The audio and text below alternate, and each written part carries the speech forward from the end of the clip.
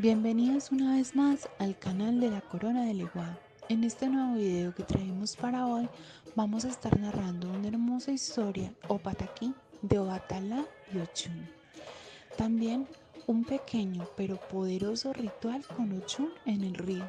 Así que no te lo puedes perder.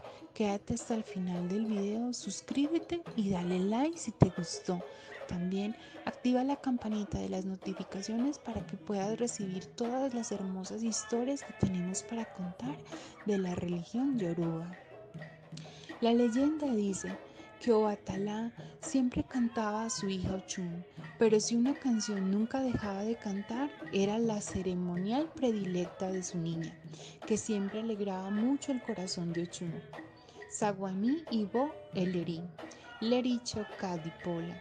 El solo hecho de ver la alegría que desprendía Ochun cuando le cantaba esa canción era motivo suficiente para cantársela cada día. Un día Ochun salió de casa y no regresó nunca más. Obatalá no podía superar esta pérdida. Empezó a buscarla desesperadamente por todos lados. A todo aquel que se encontraba en el camino le preguntaba por ella. Un día, en una de sus búsquedas, se adentró en el bosque y se sentó en una piedra muy triste. En la tranquilidad que envolvía el bosque, escuchó el canto que le cantaba Ochun de pequeña.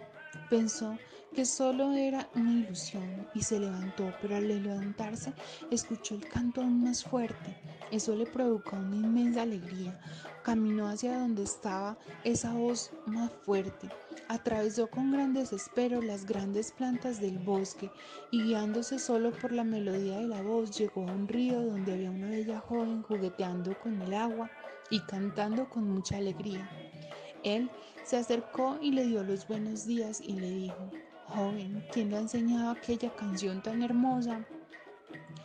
La joven y bella muchacha miró a Batalá y le dijo, de pequeña mi padre me cantaba esa canción cada día y cada noche y sabe, es algo muy curioso, nunca se la he escuchado cantar a nadie porque solo mi padre la cantaba para mí.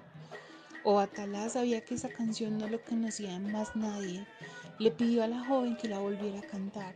Yochun comenzó a cantarla y Obatalá también a la par con ella. Ambos, mientras cantaban, se miraban a los ojos. Obatalá le brotaban las lágrimas de alegría.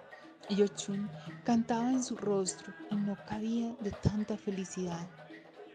Ochun cantaba aún con más fuerza y alegría y lloraba enseguida. Comprendió que Obatalá era su padre y se fundieron en un abrazo y nunca más se volvieron a separar. Maferefun Ochun elevó ofrenda que traemos para hoy es muy, muy poderosa, así que tú la debes hacer en el río. Es la casa de Ochun. Debes llevar cinco girasoles, dos velas, dos copas, miel y una champaña. Cuando llegues al río rociarás miel por todas sus aguas.